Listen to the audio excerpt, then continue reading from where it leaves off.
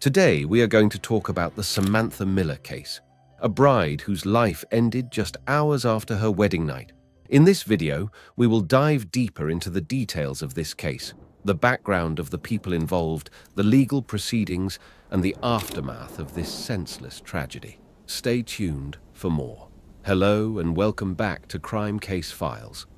Our heartfelt condolences go out to Samantha, her friends, and family. We sincerely wish that no such tragic events will occur in the future. Samantha Sam Miller, 34, and Aric Hutchinson, 36, had just exchanged vows. On April 28, 2023, the pair exchanged vows in a lovely wedding on Folly Beach, South Carolina. There were 150 visitors in attendance, Samantha expressed her desire for the night to never end to her sister, Mandy Jenkins. She claimed that it was the finest night of her life. Sadly, the couple's relationship would not endure for very long. Around 10 o'clock in the evening, Aric and Sam departed their reception on a road-legal golf cart and returned to their rental home. Aric and Samantha waved goodbye to their visitors as they rode on the back. Benjamin Garrett, Aric's brother-in-law, operated the golf cart while his son Brogan Garrett, 17, sat in the passenger seat. Unexpectedly and violently, a car crashed into the rear of the golf cart. Aric and Samantha were immediately struck by it while it was moving at 65 miles per hour. The cart rolled multiple times and the occupants were launched more than 300 feet, or about the length of a football field. Jamie Lee Komorowski, 25, was the person in charge of the Toyota Camry, which was a grey rental car. Jamie was returning home after a night of bar hopping on Center Street, the main drag in Folly Beach and the sole access point to and from Folly Island. She wasn't even harmed, but the incident had puzzled and befuddled her. She was above three times the legal limit with a blood alcohol concentration of 0.261%. Paramedics tried all they could to revive Samantha, but they were unsuccessful. She was still wearing her wedding dress when she passed away. Samantha's final day was one she had eagerly anticipated and spent a lot of time arranging. Her and Aric were married for only a few hours before she died. Aric was transported to the Medical University of South Carolina, where he received treatment for two broken legs, facial fractures, vertebral fractures, and a brain hemorrhage. Brogan sustained minor wounds, but Benjamin required medical attention with serious road rash and open wounds. Aric had the difficult responsibility of planning for his new wife's burial, which was conducted on May 13, 2023, two weeks after their wedding day, while he was recovering in the hospital. A few days later, he sued Jamie, who is still detained at the Charleston County Jail for wrongful death. Several pubs are also parties to the wrongful death lawsuit, including the places Jamie frequented on that particular day. The Mexican restaurant Taco Boy just recruited Jamie as a waiter, and earlier that day it had hosted a gathering. A Taco Boy manager allegedly forced Jamie to drink alcohol at this event. The complaints demand damages for negligence, wrongful death, wrongful hiring and training, breach of duty, and negligent infliction of emotional distress. Aric accuses the four businesses Jamie went to that day of serving an inebriated customer carelessly. A South Carolina law forbids businesses with licenses to sell alcoholic drinks from serving patrons who are visibly drunk. According to the lawsuit, Jamie Komorowski continued to be served, provided, and or allowed to consume additional and excessive amounts of alcohol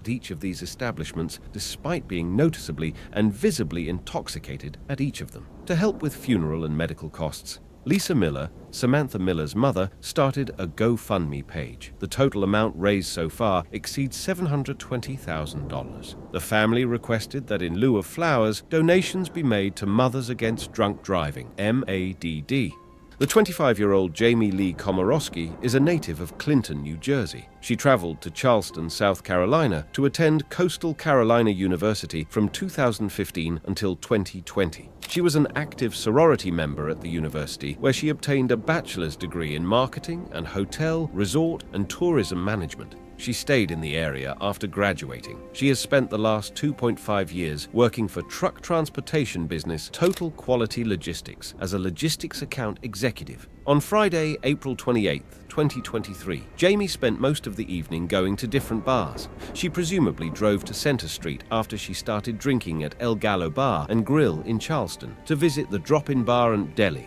the Crab Shack, and Snapper Jacks. Before 10 o'clock, she left. James Island, which is 19 minutes drive from Folly Island, was where Jamie shared a one-story house with two other people. Jamie was doing 65 miles per hour in a 25 miles per hour zone when she crashed with the golf cart. She was also traveling along Center Street, a dead end that comes to a beachside halt. It's in a popular vacation spot with kids, families, and bikers, and legal golf carts are commonly driven there. Three counts of DUI causing serious bodily harm or death and one count of reckless murder are both brought against Jamie. Jamie admitted to drinking one beer and one tequila containing alcoholic beverage an hour before she got behind the wheel. On a dead end street, she was moving in the other direction when something happened. She was not hurt, despite having a 0.216% blood alcohol concentration. Jamie insisted to the authorities again and over again that she did nothing wrong. She exhibited a lack of cooperation at the scene and objected to taking a field sobriety test. She shouted for her absent partner and insisted on having a lawyer present. Jamie is being detained without bond and on suicide watch at the Charleston County Jail. If she is found guilty of Samantha's wrongful death, she may spend up to 25 years in prison and pay a fine of up to $25,100. She also faces an additional 15 years in jail and a $10,100 fine if the other three passengers are injured. For committing murder carelessly, she might be sentenced to an additional 10 years in prison and a $5,000 fine. But at Komorowski's court appearance on August 1st, Judge Michael Nettles mandated that she be detained until the beginning of her trial, provided that it begins by the trial's planned March 2024 date. Samantha Sam Lee Miller, 34, turned to her husband Aric just before she passed away and stated, I want this day, this evening, to last forever. Samantha was the sole person killed in the collision. Samantha, who was born in Charlotte, North Carolina, adored the sea. At her funeral, Aric referred to her as a beach girl. Her parents, Lisa and David Miller, welcomed her into the world on March 27, 1989. When she was a small child, her parents were divorced, and her mother later remarried Brad Warner, her stepfather. Mendy Jenkins, Jake Warner, Nathan and Joseph Miller, and Samantha all have siblings. In addition to being a wife and mother of a cat, Samantha also acted as a sister, aunt, and friend. Her mother was, in her eyes, one of her closest friends. She surprised her mother on her wedding day by dancing to their song Bruno Mars, Just the Way You Are. The DJ introduced it as a dance with the most important person in the bride's life. She thought her soulmate was her spouse, Aric. Samantha oozed natural confidence and had an infectious smile. She also loved to laugh. She was a gorgeous force to be reckoned with, as her obituary states. It is difficult to adequately express how incredibly unique she was.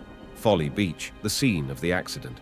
The fatal crash took place in the neighborhood of Folly Beach on South Carolina's Folly Island, which is only a few miles outside of Charleston. The Atlantic Ocean and the Folly River encircle the 12 square mile island of Folly, which has six miles of stunning beaches. Both residents and tourists like visiting Folly Beach. There are several restaurants and surf and souvenir stores on Center Street where Jamie was bar hopping. The island's top speed restriction is 25 miles per hour due to the large number of tourists, walkers, and kids that visit Folly Beach. There are also some golf carts that can be driven on the streets legally. This concludes today's presentation on Samantha Miller. If you found this video informative, kindly show your support by giving it a thumbs up and subscribing to my channel for additional true crime content. Your viewership is greatly appreciated. Until our next encounter, farewell.